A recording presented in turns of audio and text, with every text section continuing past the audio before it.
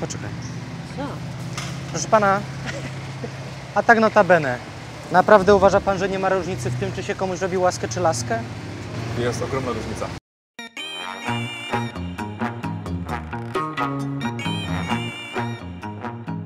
Powiedziałeś mu to? Piona! Piona!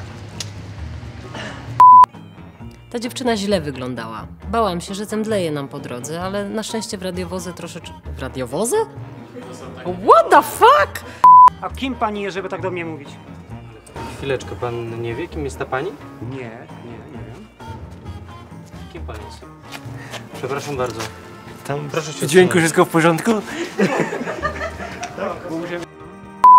Ale ja te wszystkie rzeczy oddam, co do mm, jednej rękawiczki, co do ostatniego guzika. Zrozumcie, rozmawiacie z chorym człowiekiem, ja jest, choruję na kleptomanię. Proszę pani sprawę i tak przejmą kryminalni, a to chyba nie był jedyny sklep, który pani odwiedzała. Przysięgam, jedyny.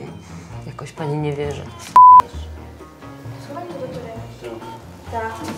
To ja w tym czasie opowiem coś do kamery.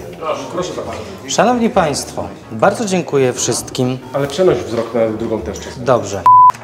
Nic mi nie zrobicie. Zakład? Proszę bardzo. Nie zrobimy. Szanowni Państwo, bardzo dziękuję wszystkim, którzy we mnie wierzyli. Rodzicom, tam przyjaciołom, takim tam wszystkim. I totalnie się nie spodziewałem, ale dziękuję. Proszę, gotowość, tak? Tak. Proszę bardzo, proszę o ciszę. Dziękuję, Sławek. W skradzionym samochodzie było dwóch mężczyzn. Natychmiast.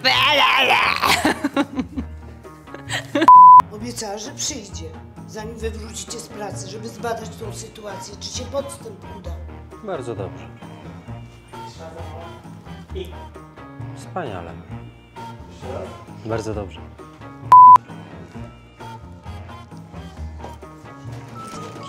Zaraz wyłączę. Alusiu, je, jestem bardzo zajęta, no. I bardzo dobrze. No i świetnie. Sorry. No i świetnie.